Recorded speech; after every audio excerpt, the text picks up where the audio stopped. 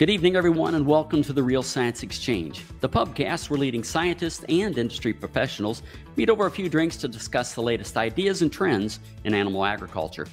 Tonight, we're taking on another big topic in the global swine industry and continuing a conversation started during one of our Real Science Lecture Series webinars. African swine fever virus has recently been reported in Thailand and continues to spread around the globe as North America braces for any sign of ASFV and continues to struggle with other lipid uh, envelope viruses such as PRRS and PEDV, we all look for ways to mitigate the impact. Hi, I'm Scott Sorrell, one of your hosts at the Real Science Exchange. Tonight, we welcome Dr. Charlie Elrod from Natural Biologics. Charlie is an adjunct associate professor with Cornell University and president of Natural Biologics. Uh, welcome to the exchange, Charlie. Thanks, Scott. Glad to be here. Well, it's good to have you here. Um, can you tell us a little bit about natural biologics and then introduce your guest and uh, that you brought to the pub tonight? Sure. So, um, Natural Biologics is a company I founded. It's coming on about seven years old. Uh, we were founded basically as an animal health company, but wanting to tap into the power of natural compounds that are biologically active and can uh, bring with them specific modes of action or activity. Uh, perhaps it's antimicrobial, antiviral, uh, immune enhancing, or whatever. And then combine those into products which address the specific challenges faced by typically livestock or production animals. So, uh, you know, we use a number of compounds from all around the world, naturally sourced, and and really uh, again, put those to work to support, uh, you know, basically lower the level of challenge to the animals and then also re- uh, increase their capacity to respond to a disease challenge. Uh, we, we work really hard to, to validate these uh, compounds and understand their modes of action and, uh, you know, then, then publish our work and get it out there for the world to see so that uh, you know we have the credibility to bring these solutions to market we also try to engage with the world's top experts in, in given fields to tap into the best expertise to either help us validate or communicate or even uh, explore new areas that we may not be as familiar with. And it's along those lines that I uh, became associated with Dr. Josh Jackman several years ago. And initially, uh, I, I, reached out to Josh. Uh, I was on the planning committee for one of the Discover conferences on natural bioactives. And I had recently read a review of Josh's in which he was looking at medium chain fatty acids and monoglycerides as antimicrobial uh, compounds. And I thought it would be really interesting to bring to that Natural Bioactives conference this perspective on bioactive lipids and how they might be, uh, you know, useful in, in deploying in, in livestock agriculture.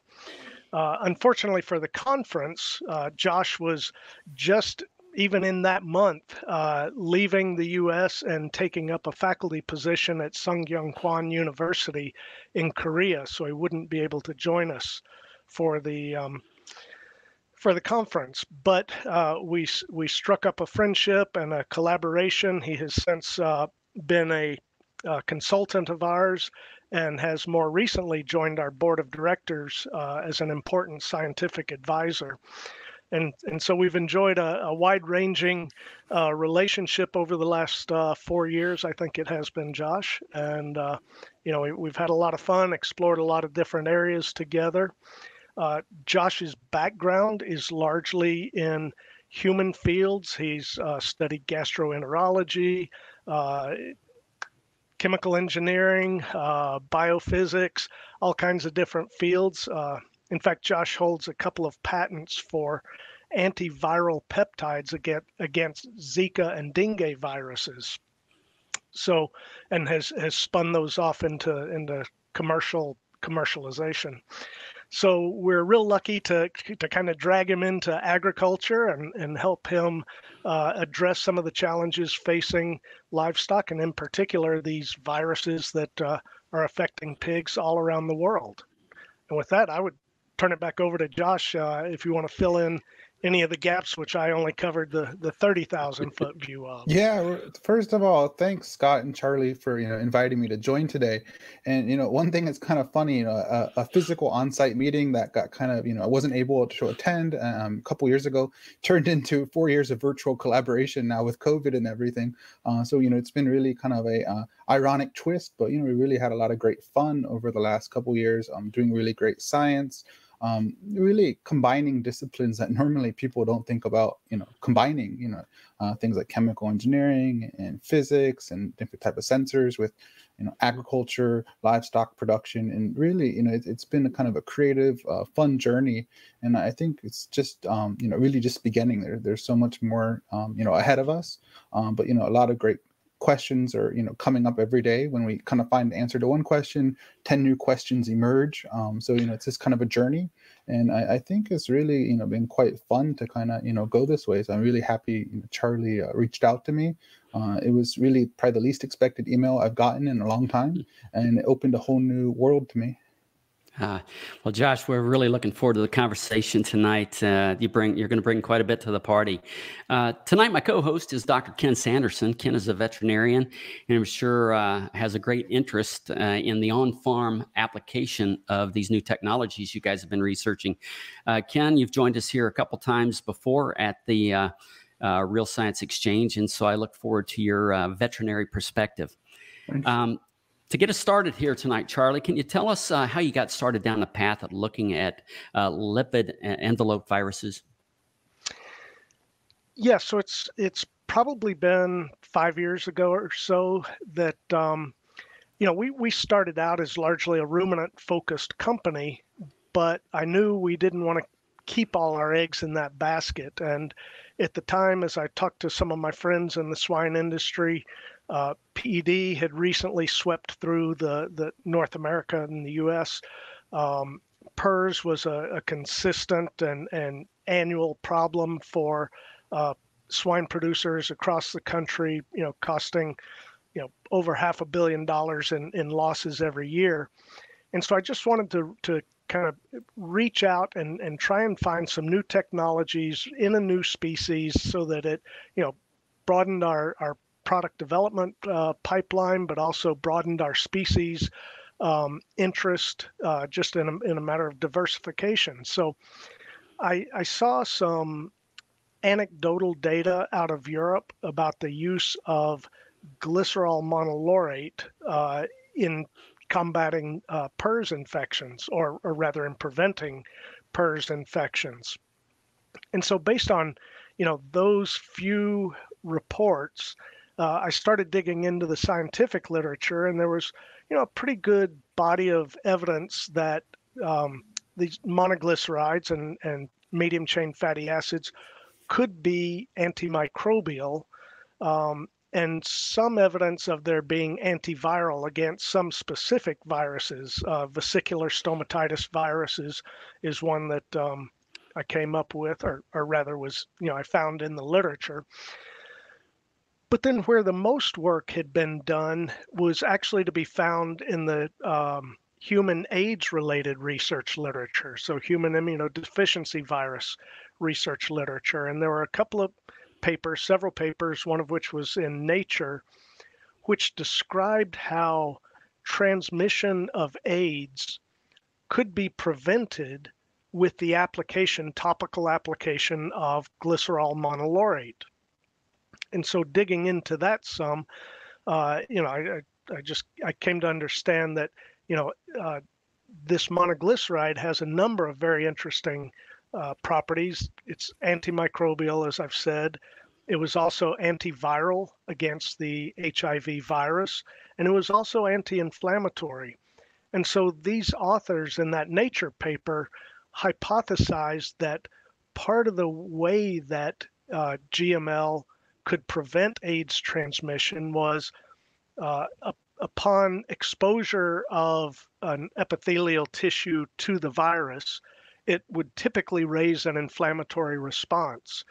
And that re- inflammatory response, in turn, you know, recruited macrophages to the site of the infection to help fight the infection as they're as they're supposed to do. In a in a typical infection, though, those macrophages are actually the target for the virus. And once the virus enters those macrophages, then it begins replicating, and those macrophages circulate throughout the body and spewing virus as they go. Excuse me. Um, so if the GML tamps down that initial inflammatory response, it precludes the recruitment of macrophages or certainly reduces the recruitment of macrophages so they don't then become infected and go spread around the body. At the same time, the GML is antiviral. So it's actually reducing the viral load there at the site of infection at the same time, it's leading to these anti inflammatory activities. And so, in essence, what they found, and this was done in a monkey model, so it was actually the simian immunodeficiency virus, not human, um, but they found that it could practically eliminate the transmission of AIDS, but again, through a topical application of GML, you know, at the site of, of the infection or transmission. So, and it was I think five years ago, I, I made a presentation to the veterinary and nutritionist groups for uh, a large integrator where I had some contacts. And I thought this might last half an hour because pretty much most of the data I had to share, it was that anecdotal or, or kind of small field study data from Europe. Most of the rest of it was, uh, you know, AIDS related data, but kind of showing proof of concept that with a lipid enveloped virus. Maybe this could be effective against PRRS. And, uh, you know, they listened respectfully. And, it, you know, actually the call went on for about two hours because there was great conversation around it. But we took it from there and just began kind of chipping away at the different pieces of that story to see if we could build the the monoglyceride antiviral anti-inflammatory story until we had a pretty comprehensive portfolio, if you will, of data to support its use in this kind of application. Just kind of a point of clarification. So, uh, being antiviral, is it against all viruses or only the lipid encapsulated or, or enveloped viruses? Yeah, it, at this point, and, and Josh, please chime in. At this point, we, we believe it to be primarily against the lipid enveloped yeah. viruses. So that would include PED, PRRS, um, African swine fever, uh, some of the uh, poultry viruses, perhaps you know coronavirus, uh, rotavirus too, that afflict calves. Um, you know there could be applications there too. Oh, sorry, I was just going to ask real quick. Is there a oh, sense, yeah, yeah. Uh, a sense of what percent of the viruses, uh, economically um, uh, important viruses, are lipid enveloped? It sounds you know, like a lot of them. Josh actually published another review just a year ago, right? Yeah, that's actually what I was going to bring up, Scott. Oh, your question's sorry. really perfect. No, no, no, no, perfect. Uh, Charlie, do you want to go first? I mean, just well, I, I was just going to say that uh-huh. in this review, Josh points out that most of the great human pandemics of the last hundred years, I think you you documented, almost all of those were caused by lipid enveloped viruses. I'll let you elaborate, Josh. Yeah, no, Scott, your question's really, really good one. Because one thing, you know, this field of kind of targeting lipid envelope and the viruses, uh, we've been doing it for human applications, even um, myself from about 2008, 2010 range. Um, researchers in general, maybe two, three decades. But always one question comes up, you know, oh, what? A, well, you can stop some of the viruses, but there's non-enveloped viruses too that don't have this envelope. What about them, for example? And mm-hmm. and the thing is, uh, about a year, year and a half ago, we, we started thinking about okay, there's non-envelope viruses, there's these lipid envelope viruses. Actually, you know, how important are these two groups? No one actually really you know, thought about it. So what we did is we looked at kind of what were the uh, all the epidemics, pandemics over the last 10 years. Uh, how many have been caused by lipid envelope viruses? How many have been caused by non-enveloped viruses. And, and, what we saw is that about over 80%, and all the big ones have been caused by lipid enveloped viruses uh, for human populations. And also even for animal populations, all have been caused by lipid enveloped viruses too. So we just saw that there's huge economic significance, huge um, significance in terms of what's actually affecting people, what's affecting livestock um, with these lipid-enveloped viruses. It's not to say non-enveloped viruses are, are not important, but but really when it comes to outbreaks, uh, pandemics, epidemics, nearly everything's uh, been caused by uh, lipid envelope viruses. So huge significance in this. And you know, this is really where you know meeting Charlie a couple years ago, really right before COVID nineteen, know, a year or two before, it was really a fortuitous timing in terms of really taking this technology, what's been developed for human populations for a long time, um, combining it with you know Charlie's scientific curiosity and really kind of merging the, the human and, and livestock challenges of viruses um, and really you know building a research program uh, that can potentially address you know all these different types of lipid envelope viruses of really huge uh, economic uh, importance as you mentioned yeah, can you guys kind of give us an overview of some of the research that you've done with the uh, uh, GML to date, and and what are some of the key findings, and maybe some of the application that you might have uh, discovered? Yeah, so um, you know, as I said, we we started out with a, a search more oriented ter- towards PRRS because it was the most prevalent uh, challenge facing swine producers at the time. Uh, we made a few stabs at, at determining whether uh, GML was antiviral. We didn't didn't have the um, protocols down right, and uh, so. But then ASF burst onto the scene, and and by that time, Josh and I had been working together six or eight months or so, and um, so you know. Josh, doing his due diligence, uh, came across this lab in Armenia that had been publishing on ASF for about a decade because they had had basically endemic ASF circulating in their swine population for that length of time. This group was was the antiviral defense group, which is part of the Institute of Molecular Biology at the National Academy of Science in Armenia. So the head of that antiviral defense group, Hovakim Zakaryan, uh, we basically emailed him set up a call and uh, established uh, a collaboration. And so we've done a, a number of studies uh, with him, both with the medium chain fatty acids and monoglycerides, but also then subsequently with some other classes of compounds. And so we kind of started out at the time, there was a, a whole lot of, um, you know, publicity and, and awareness of medium chain fatty acids as potential uh, feed mitigants. And so we we started with that, just a you know simple in vitro assays looking at individual medium chain fatty acids and some of the monoglycerides to determine whether they were virucidal, and then if they also had additional um, effects, which would prevent viral replication. And I, I try to distinguish those because they're kind of two different levels of activity. So virucidal would be directly inactivating the virus, whereas then what we call antiviral could include, you know, inactivation of the virus, or it could include some other disruption of that either viral entry, attachment, or entry, uh, unpacking, uh, replication, rebundling, and then exocytosis from the host cell. So any of those steps are prone to disruption, but uh, we've kind of lumped them into you know the virucidal and the antiviral as two different kind of buckets, if you will. So uh, we found that uh, at I'll, I'll, say fairly high concentrations, five millimolar, uh, all of the medium chain fatty acids and GML that we tested had roughly similar virucidal, so direct inactivation of the virus um, activity. So 1.1 to 1.7 log reductions in the amount of infective ASF virus.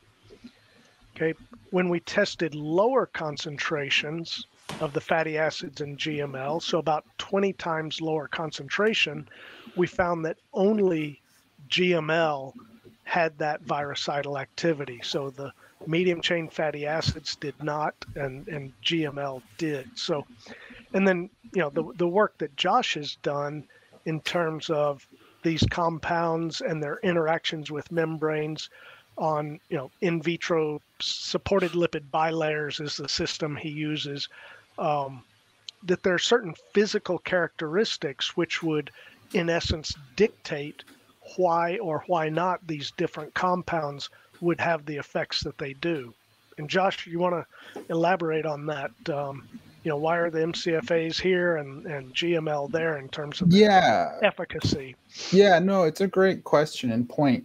So, you know, one thing with these biology assays when you study ASF or a lot of these viruses, you know, they, they take time, they require a lot of safety requirements, a lot of really high level technical expertise, and, and uh, you're mainly looking at the output. Like, does it kill a virus? Does it not?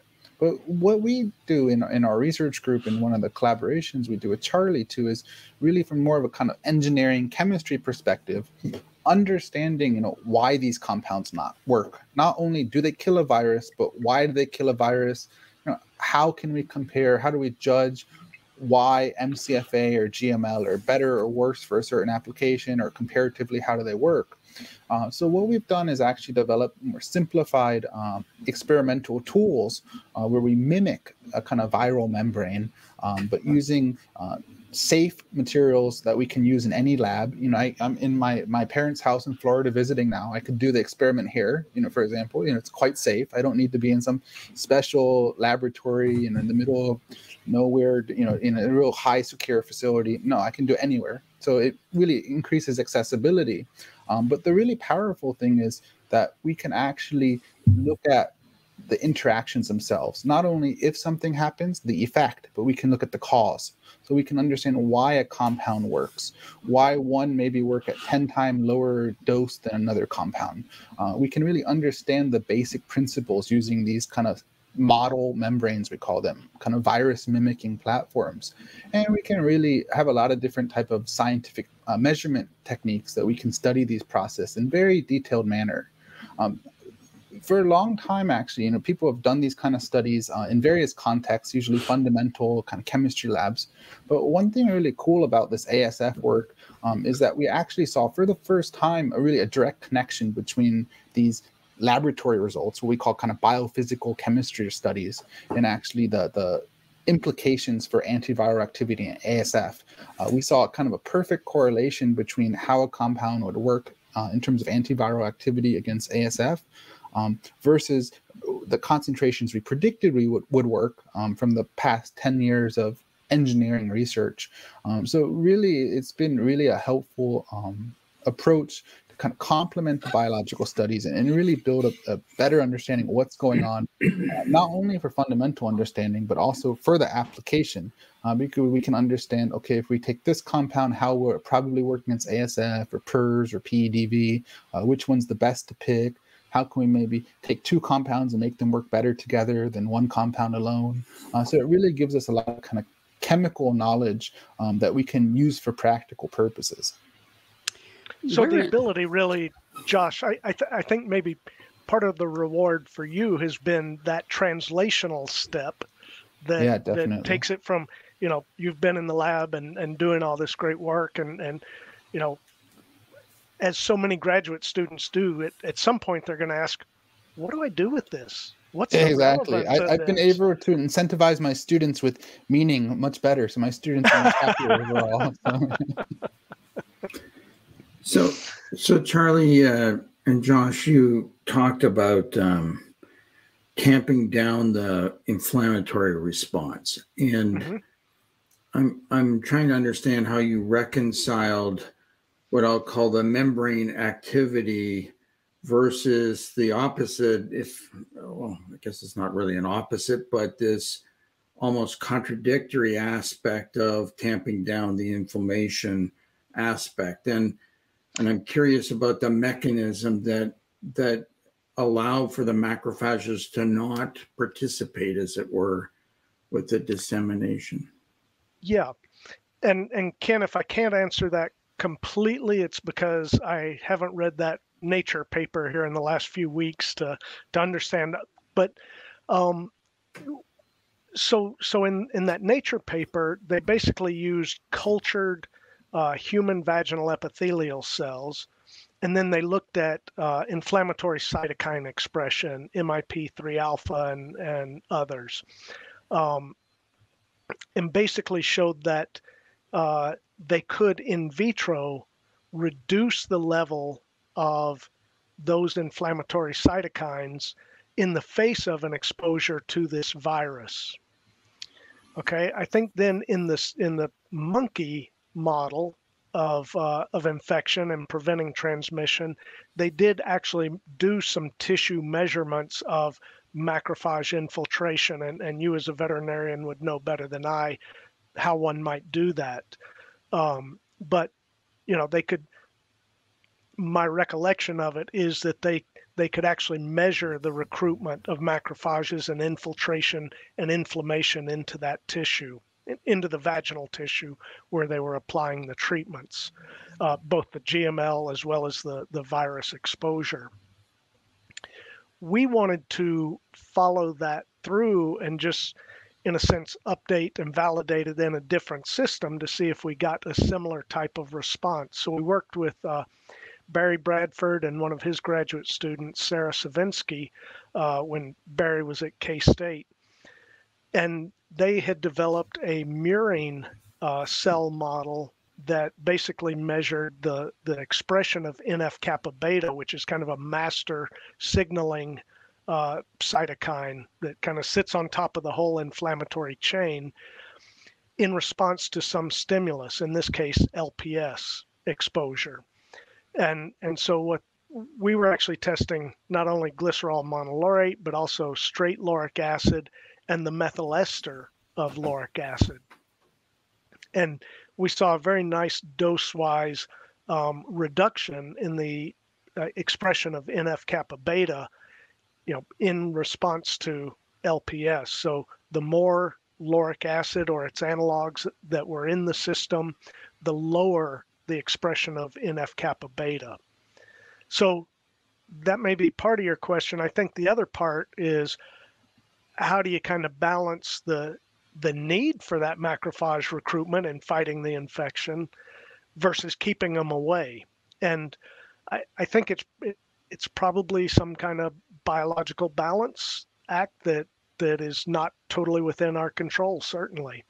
So, you know, tamping it down some, uh, also reducing the viral load at the end of the day, if that results in fewer macrophages getting infected and fewer virus particles surviving in that mucosal environment, you know, whether it's nasal, oral, wherever, um, then you've you've improved the chances of that host animal.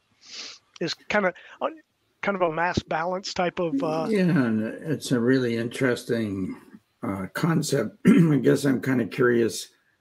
Were, were you actually able to align in some kind of quantitative manner the macrophage activity or tamping it down against the, I'm going to call it the hole punching technique um, within the viral membrane so that you had this endpoint that was balanced, or was that is that almost and does that depend on which uh, fatty acid you're using? Yeah so we we have not done the in vivo studies to in a sense replicate that work from the nature paper with a siv um, that would be interesting we have uh, through for instance um, this pipestone challenge with the uh, PRRS virus you know the the GML was fed at a level that allowed the treated pigs to maintain normal growth rates, uh, maintain normal uh, you know mortality, morbidity, um, but also not have any well very few uh, positive oral swabs, no seroconversion, um, and and no clinical signs of disease. So at that kind of a level, and an admittedly crude kind of um, study in the grand scheme of things, it it was effective. So I'm not sure that we'll ever need to get to kind of the the the pharmacological level of okay we want we want a 10% reduction in macrophages and we want a 90% reduction in in virus load. And and then we've kind of tuned the perfect balance for maintaining health and and and responsiveness to other challenges.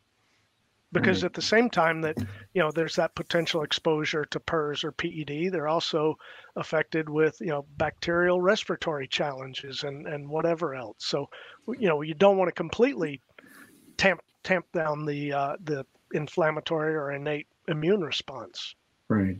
No, that's that's a great answer. I I was wondering about whether there was a uh, spillover effect, uh, in inadvertent depression, if you like, against other things that the animals are going to be exposed to. Yeah, you. I mean, like anything, too much of anything can can be a bad thing. Sure. Um, so yeah, I think we certainly could.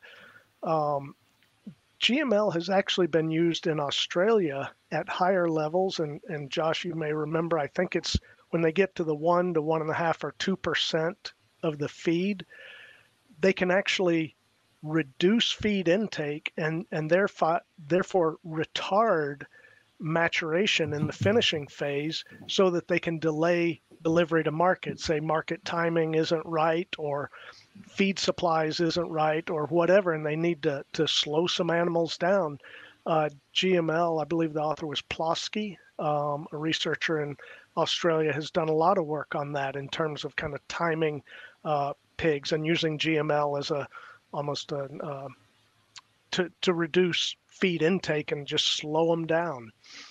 So it certainly has that capability. I, I have one more question if Scott will let me, but the um, I don't know if I'm thinking about this in far too simplistic. I'm sure I am manner, but is one hole in the lipid membrane, to phrase it this way, sufficient, or do you have to create multiple areas of damage to the lipid membrane? And to what extent does that change the, I'll call it exposure slash dose or duration of exposure? Does that Josh, question make sense? Oh, yeah. it makes a lot of sense. It's not a simplistic question. It's an excellent question. The, uh, you know, this is really actually tie in a lot with uh, researchers generally when they study membrane active compounds to inhibit pathogens a lot of people looked in, in terms of bacterial pathogens in, in, in uh, historically. And, and with bacterial pathogens you can actually imagine one hole in the bacterial cell membrane would be enough to really disrupt a lot of things going on. Bacterial cell is actually living uh, it needs to have ion gradients concentration gradients across this membrane and so forth. So, so theoretically one hole in a bacteria can cause a lot of damage um, when you go to viruses, um, they're quite different. So actually, um, at least in, in, related research for other types of compounds like antiviral peptides, which make holes in, in um, viral membranes, uh, what we've seen is one hole is not enough. So actually, you need to make a critical density of holes in this virus uh, membrane in order to call, cause it to kind of collapse. So our, our working model of this, um, and that was for peptides, but we, we generalize it a bit just conceptually. Um, but but it, it seems that in general, more than one hole is necessary for a virus membrane to become uh, inactive or in, in uh, broken down and, and, we, we think that that structural damage is really important not just poking a hole um, to damage like or to affect concentration gradients and so forth like with bacterial cells but but really pretty significantly damaging it um, to really you know break the stru- structural integrity of the virus particle. So i'd say multiple holes. Now the one flip side is that, that there's a there's caveat to this that it doesn't seem that it's necessary to actually totally break the virus particle to actually stop it from um, causing infection. So the, the thing is, usually when virus particles actually uh, infect a cell, what they do is they need to actually uh, fuse with the cell, which means the, the human cell or the animal cell uh, membrane and this virus particle membrane, they kind of fuse together. And then this is a kind of dynamic process where shapes are changing and things need to kind of uh, merge together and we call this fusion. So actually, sometimes before you actually start really damaging the membrane and making it like Swiss cheese, um, you can actually some we think that these compounds at little bit lower doses um, can already start preventing the viral membranes from fusing with cellular membranes, so we can prevent infection. So there's some depending on the exact compound, uh, depending on the exact environment conditions, uh, we think that you can have at least two kind of modes of action that are kind of related but a little bit nuanced. One is kind of preventing the virus from actually fusing with cell membranes, uh, where where maybe it doesn't make a hole per se, but it, it kind of this compound might kind of wedge itself into this virus membrane and kind of change the properties of this virus membrane. Um, and there's been a lot of research into these areas for various types of compounds uh, that can co- stop fusion. Um, the more extreme case is when the compound can actually kind of rupture or make a hole in this membrane and really break it. Um, so, so it's an evolving landscape with a lot of mechanistic findings, um, with a lot of mis- mechanistic possibilities. But what we think that you know, your simplistic uh, question is is nothing but nothing simplistic at all. It's actually, you know, as I said, really excellent question. It really comes um, to the kind of the heart of this kind of research in terms of you know the mechanism and and, and what context do things work and and how do we define potency and so forth. Um, but it's really great well, point. And and Josh, in, in terms of what we all know way too much about, in terms of the membrane bound proteins, Yes. Whether whether they're you know a spike protein that's used for receptor mediated uh, attachment and, and fusion with the host cell or whatever, destabilizing that lipid envelope around those surface or those membrane bound proteins can a destabilize the protein conformation themselves and break down that that process or you know kind of set set them loose or as we found in the work um, with ASF, that P72 capsid protein, we saw a very significant dose uh, dependent degradation of conformationally intact P72 um, protein. So, yeah, I think it, it can have a lot of different uh,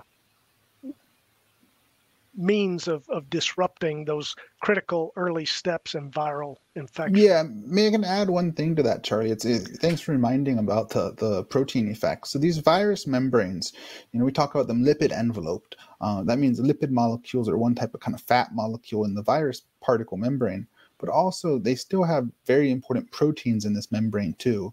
And the proteins in the virus membrane depend on the lipids being happy. so if you kind of make holes or you start damaging these lipids uh, in the envelope, also the proteins can kind of stop working.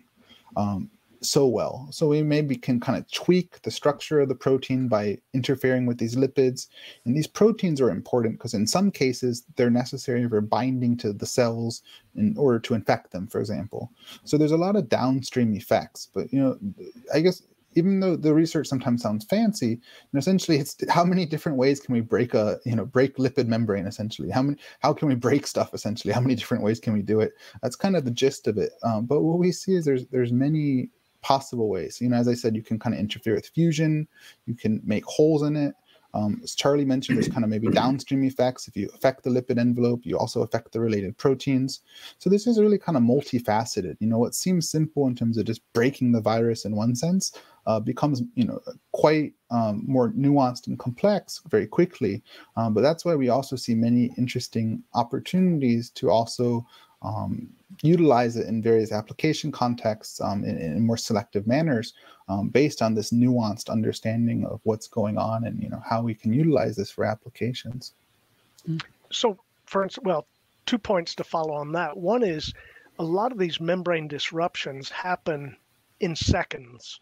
So josh has some great uh, video in, in this artificial membrane the supported lipid bilayer membrane where you add the monoglyceride or, or fatty acid or whatever, and within milliseconds, you're seeing these membranes just blow up. You'll see tubule formation, you'll see bud formation, and then and then they just blow apart. So really dramatic video of what happens literally within seconds. So very fast acting.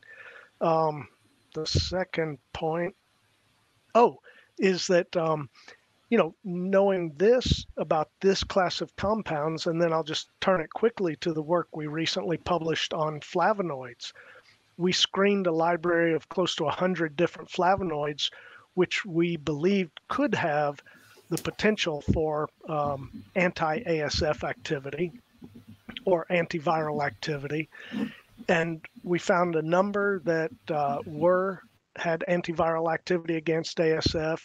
We found five with um, significant activity that we explored a little deeper, and then one which uh, we you know chose to pursue more deeply, and it basically had no virucidal or very little virucidal activity, but it did through various different studies to look at the timing of entry and the uh, timing of exit and, and, various other means, found that it uh, actually worked inside the host cell and inhibited viral unpacking in the very earliest stages of viral replication in the host cell. So, coupling some technologies that say had a high degree of virucidal activity with some other inhibition of, say, viral unpacking and replication, you know, could lead to some very robust types of antiviral, um, you know, mitigations. Go ahead, Scott. Well, I was just going to kind of drill down into how much do we know about uh, dose rate and, and where where is the site of activity? Is is it the plasma? Is it in the, the cytoplasm? And then how much do we know about you know what levels of titers we need to maintain? A follow up question to that might be, you know, I'm I'm assuming these uh, uh, short or medium chain fatty acids are being metabolized. And so, how long, what's the duration we have to maintain some of these titers? There's just kind of a whole lot of questions in there. I know, Charlie, see you laughing, but inquiring minds want to know. All right. So, we're, we're booked until, you know, eight o'clock tonight, right? I said three hours. We'd, be, we'd shut her down after three. You were not joking. wow. So much there, Scott. Um, you know, we, we did some of the dose titration, at least in vitro. And we, we haven't done this, we haven't done any in vivo studies um, with ASF in pigs where we have some underway with PED and PRRS in pigs, um, in which we hope to get at some of those dose titration kind of questions. Um, how much you need, you know, Josh has a friend that is a, a Russian mathematician who has modeled viral load and subsequent, um, you know, expression of disease. And um, you know, we've talked about uh, bringing him in and kind of modeling. Okay, if we get this much uh, reduction in viral load, what's the implication for that? Or if we get this much, or you know, and and what's the timing of that and frequency of exposure? Just all kinds of questions around this, which, you know, Josh could maybe take me under his wing and I'll do a second PhD or something. But um, more than welcome anytime. You'd be the best PhD student.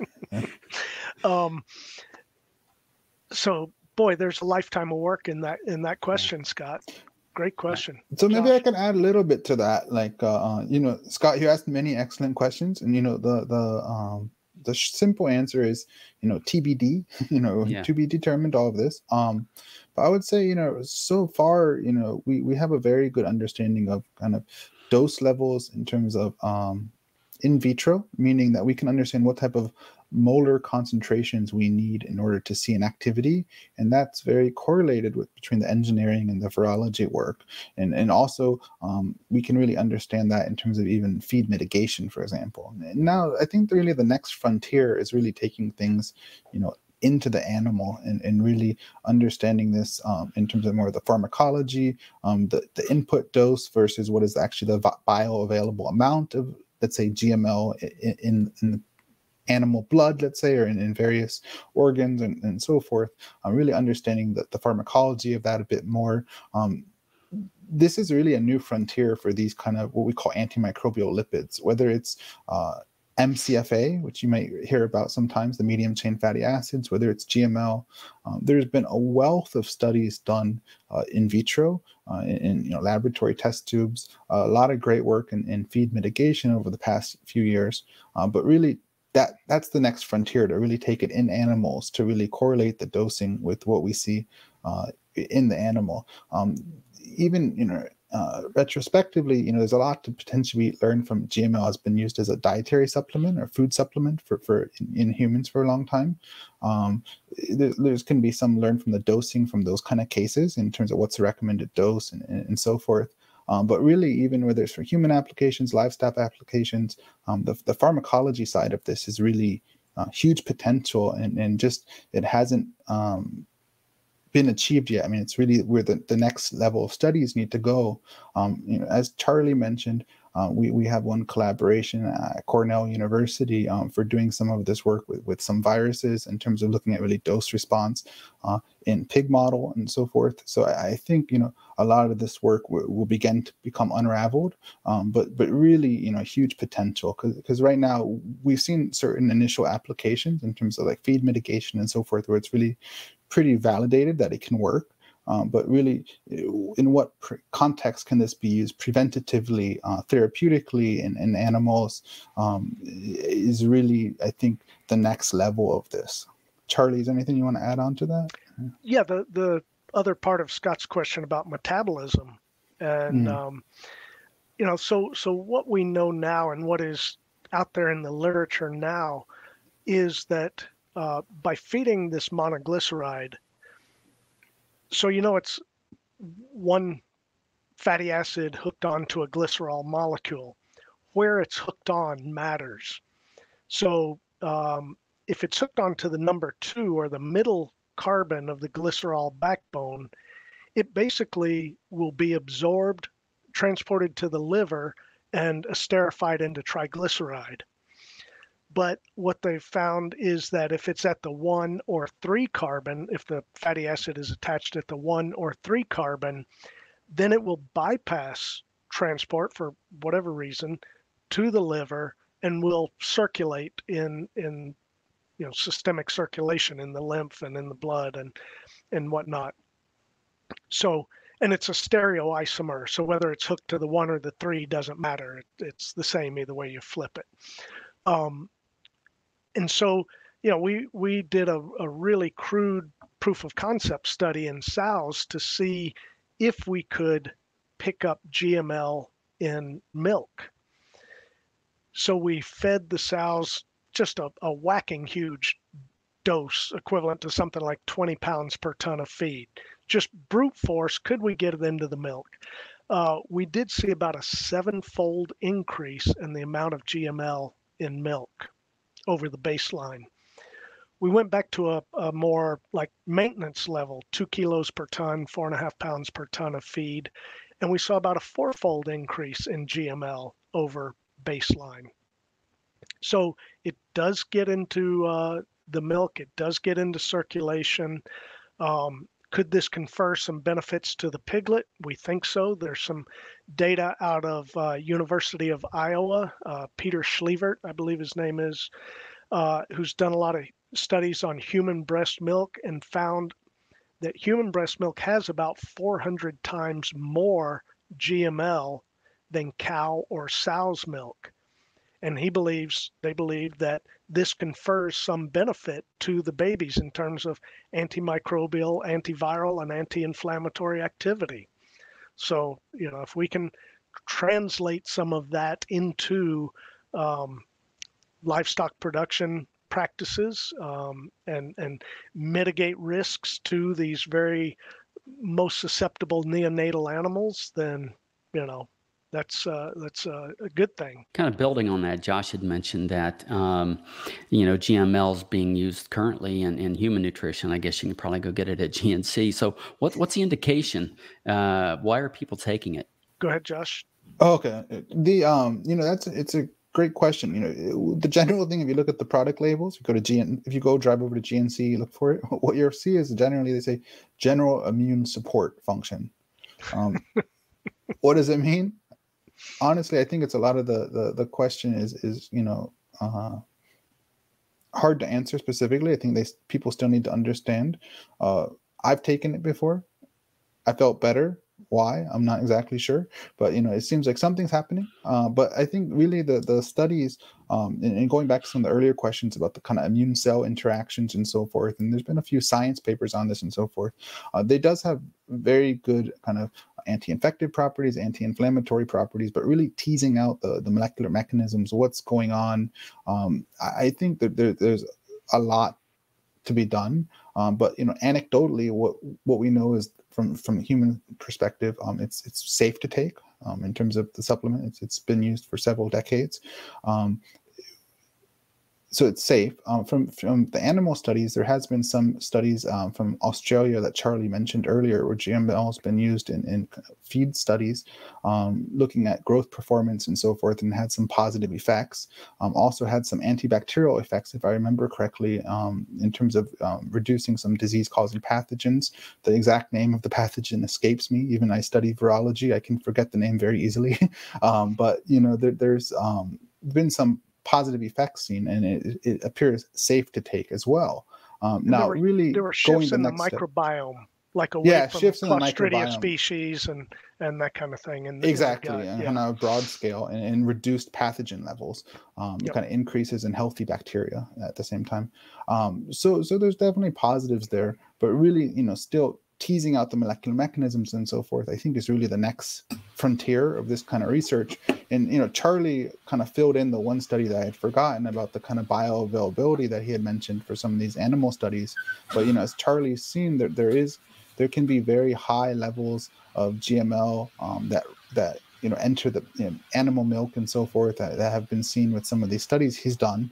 Um, so I think there's really you know potential there, and, and even in terms of metabolism, if you think about well, what happens if GML um, becomes metabolized, for example, breaks down. You know, what is the breakdown product? How quickly does this occur in the body? Even one of the main metabolic products of uh, GML is also antimicrobial. It's called lauric acid. If you break it down, it breaks down into its fatty acid. Uh, we've even seen in, in our lab, in terms of biophysical, this chemistry findings, that if you have a mixture of LA and GML, um, it can actually work better than GML by itself.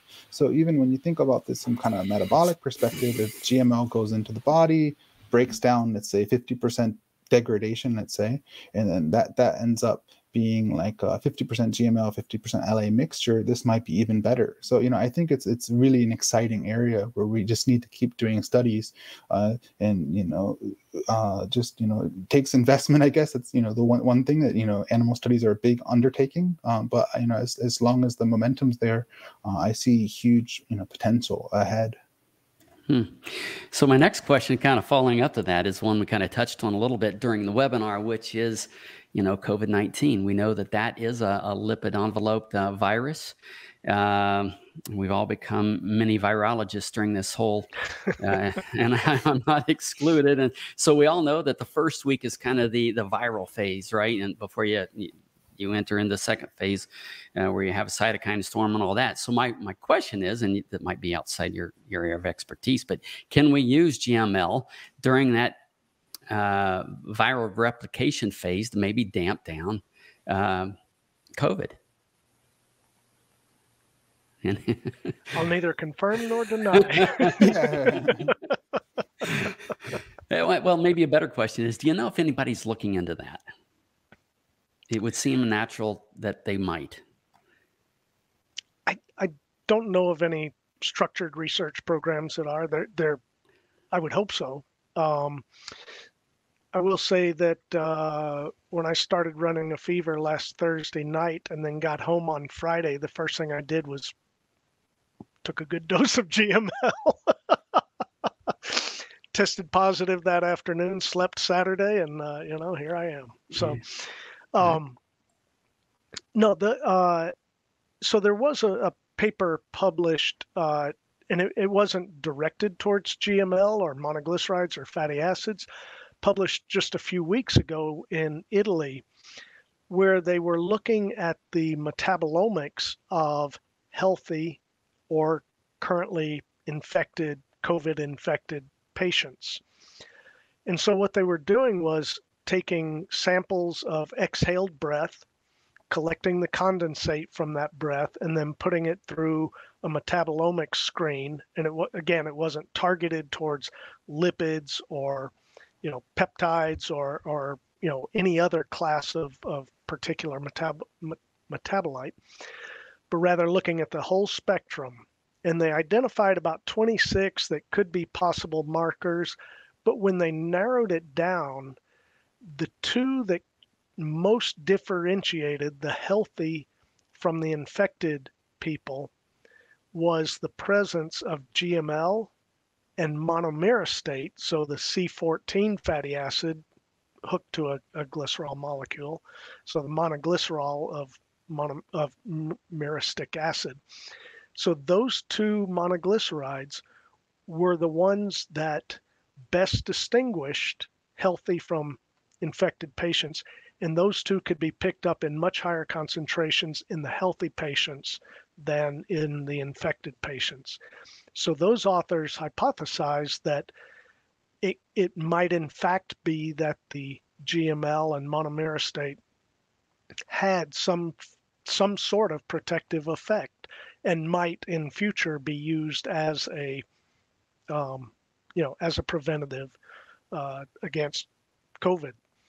Uh, and and the only reason we knew that that paper got published was they ended they actually cited our work from the African swine fever virus work as you know evidence of you know GML's uh, antiviral activity. So it you know we just got an alert through the system that our paper had been cited, and I went to look at it and came up with this stuff. So it's I, th- I think it could be a promising area, you know, for this and other future um, viral pandemics, epidemics. Yeah, so is the assumption then that the healthy people had higher levels to begin with and therefore did not become sick, or perhaps the people that got sick, they're, somehow they're depleting their levels? Yeah, and, and they couldn't really tease that out from the data.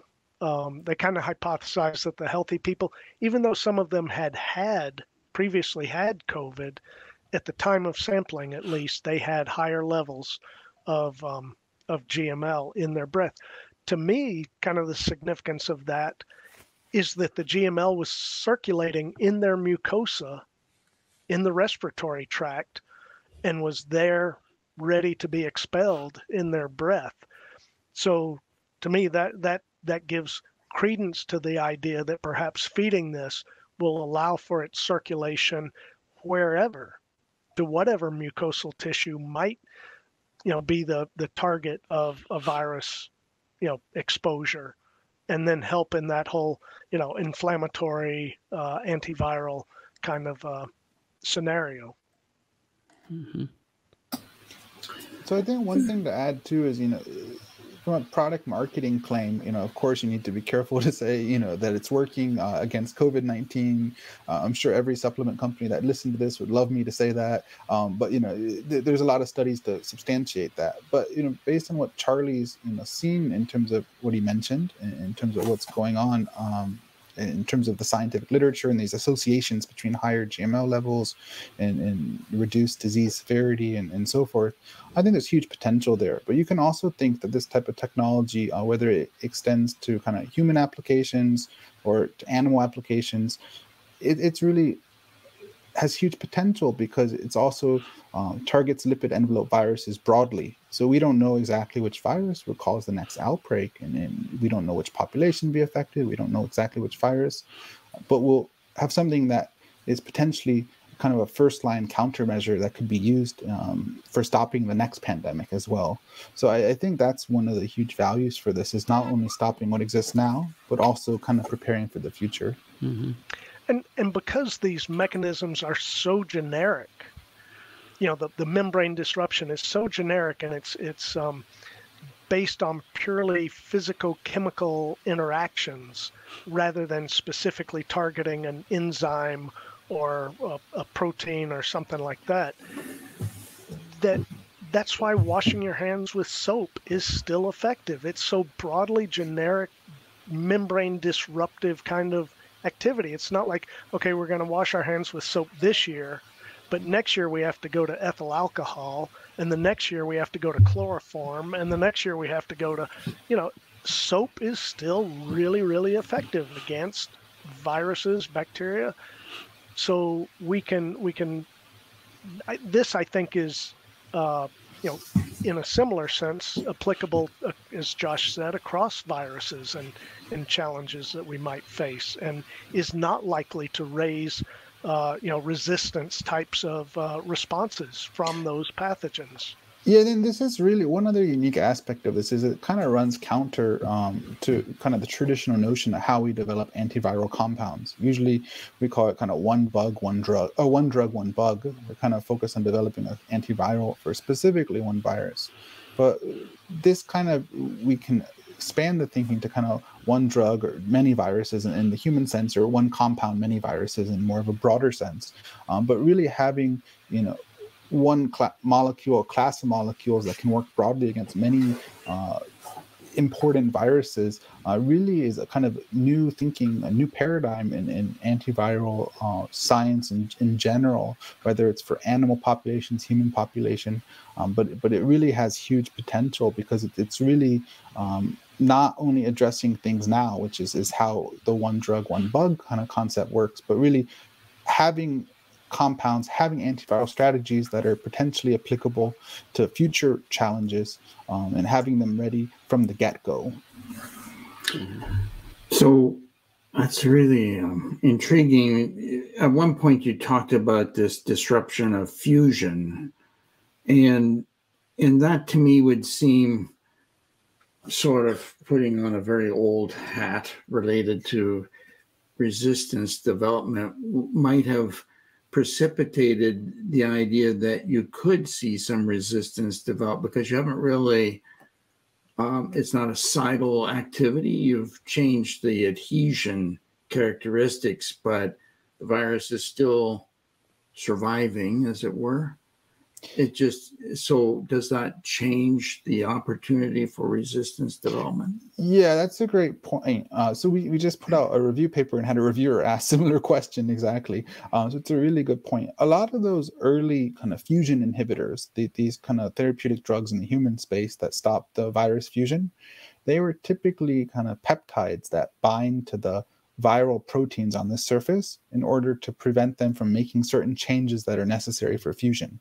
Um, when you bind to the viral, pro- when your, your target is a viral protein, uh, resistance can develop relatively easy compared to targeting viral lipids because these proteins are encoded in the viral genome, how they're produced, and, and it's more mutation prone. But by kind of evolution, the, the viral genome, when it's reproduced, um, it's it, the errors can be introduced more easily, and this allows the virus to kind of escape uh, uh, new drugs being developed to stop it in some sense.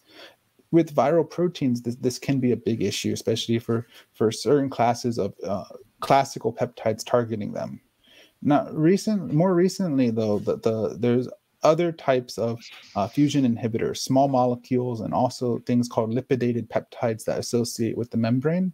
Um, these compounds, they're either target the lipid envelope or they are so potent because they associate with the lipid envelope to bind to the uh, viral protein so potently that actually viral resistance is not such an issue with the latest classes of fusion inhibitors. Um, so especially the, the, the main reason is because the lipid envelope really cannot evolve resistance so easily because the lipids in this envelope they're, they're not in the viral genome. So it's it's a bit actually kind of um, maybe not so obvious at first glance but the well, viral viral lipids are from the host cell membranes. They're derived. Yeah. so they're not encoded in the viral genome. So the, the virus can't mutate to kind of s- stop it. Um, so so this is an issue that has you know really many people have asked um, this kind of question, you know, fusion inhibitors, resistance development. Uh, you put it very nicely, and it has been a big problem. But for the latest generation, uh, it appears less of a problem. Um, and, and uh, really, we've gone through the literature recently, and, and it appears that fusion inhibitors are targeting this membrane. Um, to date, and to my knowledge, there's been really no clear evidence of resistance developing. Um, part of that, you know, um, is just based on there haven't been so many long-term studies to do this. But even in the cases where they have kind of passaged the virus uh, in presence of drug for many cycles, you don't see resistance development. We need to keep um, testing that over longer periods of times. Um, once things start reaching clinical trials or and so forth really seeing it in larger populations to really validate that. But based on all the evidence to date which is growing and accumulating uh, it looks very promising that resistance development at least has a very high barrier if it's possible at all. Um, and i think that's one of the big potentials for the future. So i think a really great point you mentioned. Uh, charlie does, did you want to add anything to that? Oh i, I was just going to say for um, maybe broader understanding that as a mm-hmm. virus um, particle replicates inside the host cell, then buds of that DNA or RNA will repackage and reassemble, and they basically exit the cell through the membrane, exit the host cell through the membrane, taking bits of that membrane with it, and that's what it's enveloped in, is the host cell's membrane. So that's why um, you know it's it's very generic. It's not encoded in the in the viral genome. So you know, very generic. It's whatever host cell it came out of. That's kind of the constituents of its uh, membrane. So again, very very generic and and as Josh said, I think makes it easier to target. So, so having said that, um, what what is protective of host cell membrane from the activity of these uh, uh, fatty acids or the monoglycerides. So does that question make sense? Yeah. yeah, yeah. I had that question. I, I, did a grad student symposium or seminar rather up at Cornell a, a month or two ago, and uh, a, a student asked that. Well, you know, if this stuff just disrupts membranes, what about if you consume some and is it going to just start you know opening up all the cells of your you know your gut lining and disrupting all those membranes? And um, josh may have a better biophysical explanation for why it doesn't. It could just be a dose um, response. I i honestly don't know.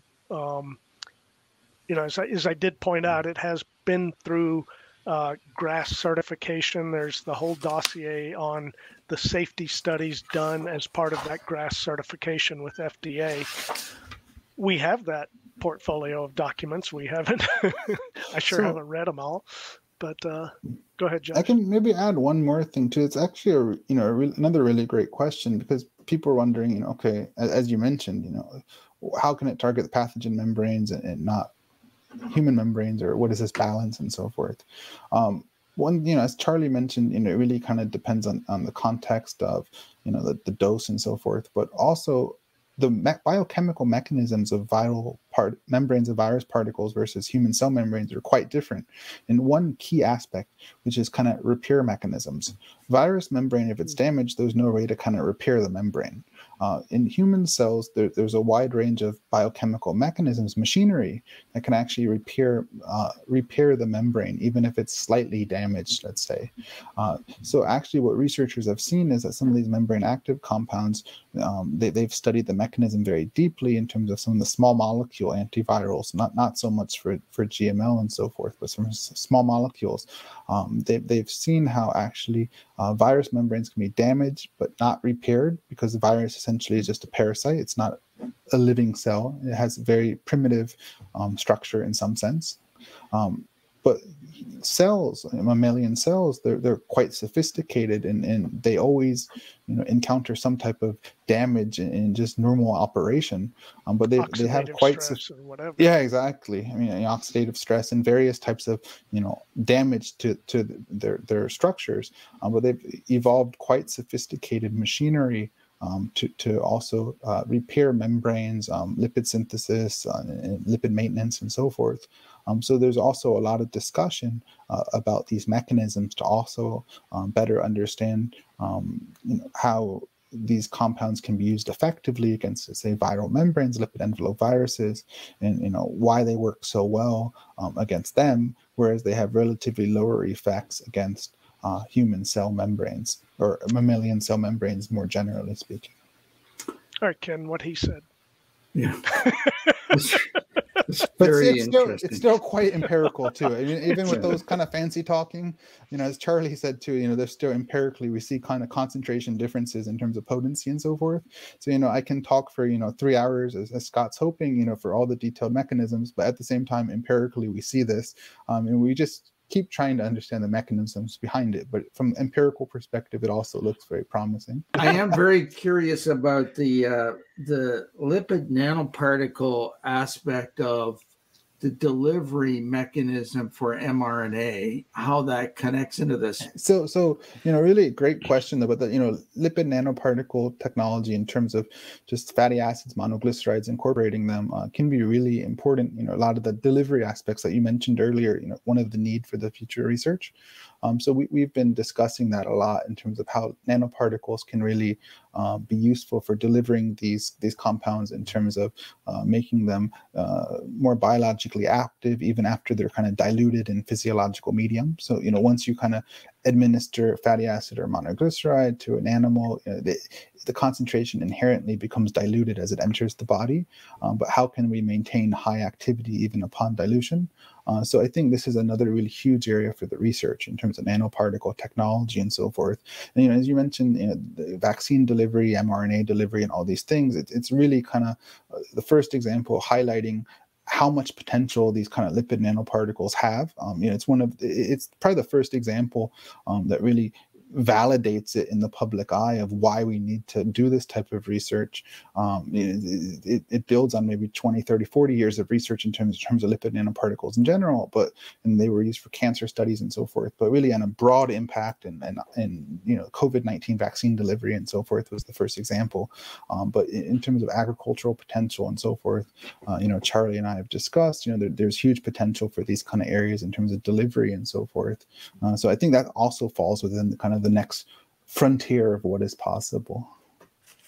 The actual nanoparticle technology has got, I would have thought, and sounds like a, you know it does some crossover to some of this discussion, and how else can we look at it in ways of delivering um, active molecules that we're interested in, and what should we be thinking about? So that was part of. Uh, something that, you know, as I read about the construct of the COVID vaccine, I, I was struck by the the fact that until the lipid nanoparticle was incorporated into that, we had really no way of putting the mRNA information in, into the host cell. So that that was an intriguing aspect.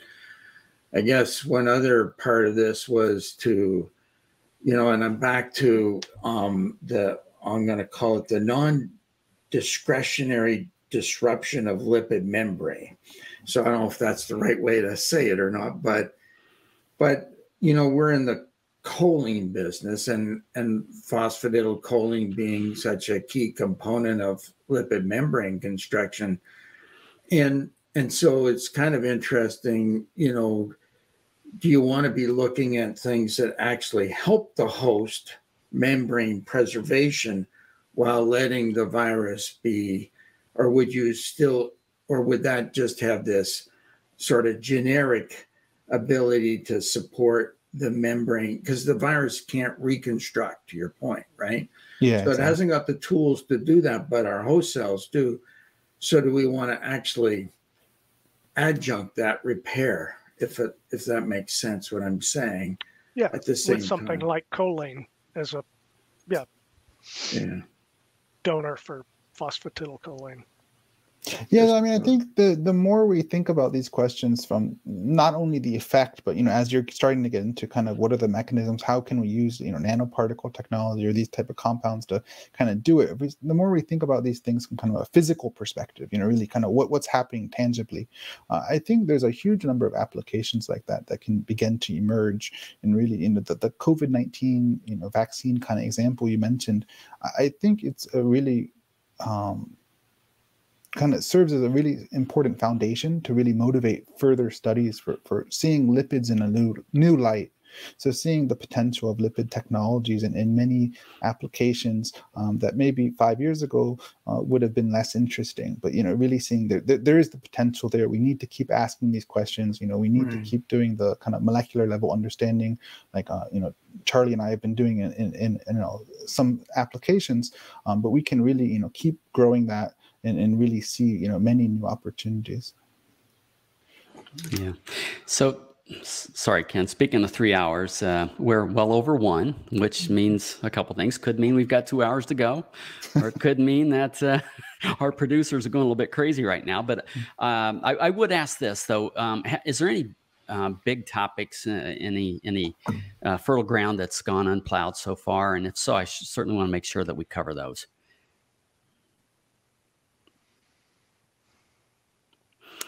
You know, I, I guess I would I would say um, that just you know we started with kind of this. Uh, there was some direction to it and exploring these medium chain fatty acids and monoglycerides.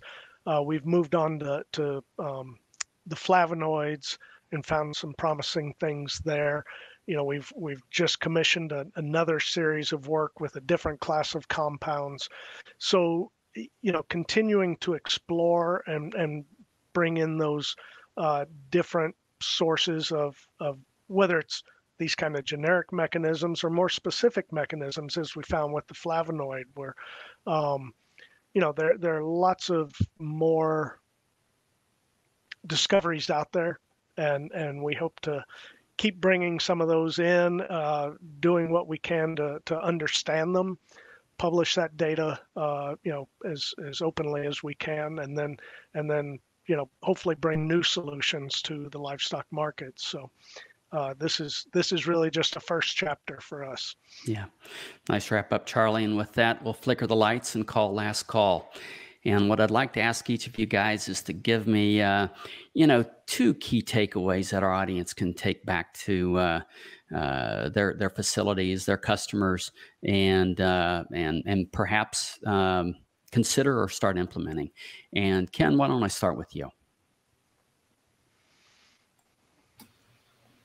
Yeah, I, I'm not sure I have key takeaways, but a couple things that come to mind as you ask the question. The first one probably is man, there's still a lot to learn. And I'm a bit, I'm more than a bit intrigued about, you know, because this idea of using these fatty acids has been around a long time, but the tools, I guess, to understanding more about what we're seeing and what, why they're having some impact have been rapidly evolving.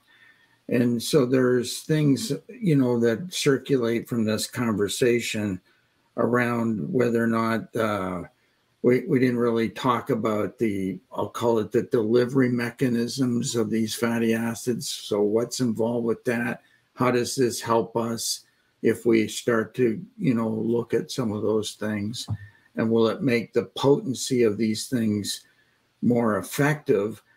But at the same time in our world of feed additives and nutrition to be careful that we're not boxing ourselves uh, away from a the opportunity to use these things because suddenly we find ourselves being in a place of regulatory uh, uh, difficulty, I guess is the word I might use. So it's a fine line, lots of discovery, lots of neat things, and and yet um, I, I, am curious how we uh, learn more and yet continue to have access to the tools as we go.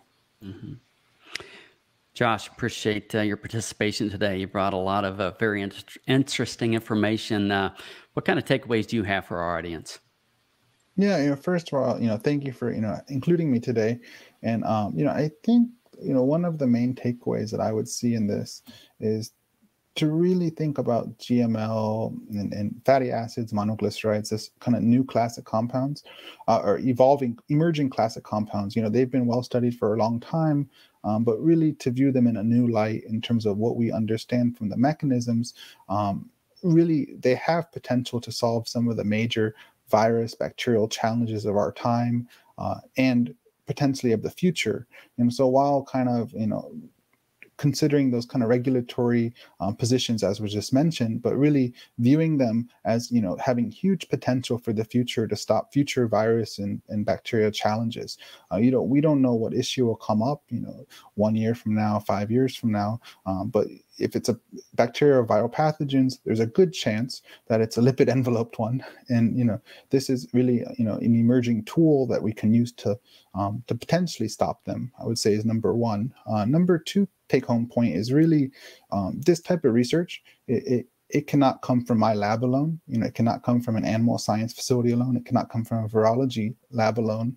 Um, this is really kind of shows the power of doing work in the feed additive, nutrition research, agricultural research, more broadly speaking, um, by really creating multidisciplinary teams of, of, researchers from around the world, whoever best fits this fits the need, um, but really shows the power of collaboration across traditional disciplines um, to really bring new insight to problems, um, potential solutions, and, and really drive innovation forward. Yeah, thank you, Josh. And Charlie, two things. And then also, can you tell the audience where they can find you and Natural Biologics? Yeah. Um, so I, w- I would definitely echo uh, Josh's last point. I mean, the cross fertilization of ideas uh, uh, between, say, Hovakim, the virologist, Jeff, the uh, Jeff, um, Josh, the uh, you know the the biophysicist, and myself as a whatever physiologist, um, you know, has just been remarkable. And second point, I, I think would be that as you look at um, solutions to livestock challenges like such as this, that be sure to work with people who, you know, a have the have the data that understand the mode of action, that have well chemically characterized bio, bioactivity standardized um, types of, of products to bring these solutions because without that you know there's there's as we'll see at IPPE here in a couple of weeks you know there can there can be a lot of stuff that um, not backed up by much. And so make sure you you you're working with a source that understands how and where and why and uh, the the products work before you begin to implement them in in your own system. And where can they find you they can find me uh, at uh, our website would be the easiest place. So that's naturalbiologics.com. And uh, there's contact sheets and links to all of us and uh, links to our research bulletins, which are freely available. Um, all of the work that, that we've published, uh, we've made the you know we've made the decision and paid the fees so that it's all open access, so anybody can access at any time. Um, so again, it's we we try to make our our science an open book so that others can participate and learn from it, and and hopefully help push the uh, the industry forward. All right. Well, thank you, Josh, Charlie, Ken. This has been uh, immensely entertaining and interesting, and there's no doubt in my mind we could have gone a full three hours. Um, and with that, you guys have a standing invitation to the exchange. So anytime you want to come back, you've got some new information, we're here for you. Uh, even awesome. if you don't have new information, Charlie, Josh, you guys can come on back. So I, I really thank you for the, uh, uh, the, the great information today. I also want to thank our loyal listeners for stopping by. I hope to see you next time here at the Real Science Exchange, where it's always happy hour and you're always among friends. Thank you to all the loyal listeners of the Real Science Exchange. We'd love to hear your comments or ideas for topics and guests, so please reach out via email to anh.marketing at balchem.com with any suggestions, and we'll work hard to add them to the schedule. Don't forget to leave a five star rating on your way out. You can request your Real Science Exchange t shirt in just a few easy steps. Just like or subscribe to the Real Science Exchange and send us a screenshot along with your address and t shirt size to anh.marketing at balchem.com. Balchem's Real Science Lecture Series of webinars continues with ruminant focused topics on the first Tuesday of every month, monogastric focused topics on the second Tuesday of each month, and quarterly topics for the companion animal segment. Visit balchem.com slash realscience to see the latest schedule and to register for upcoming webinars.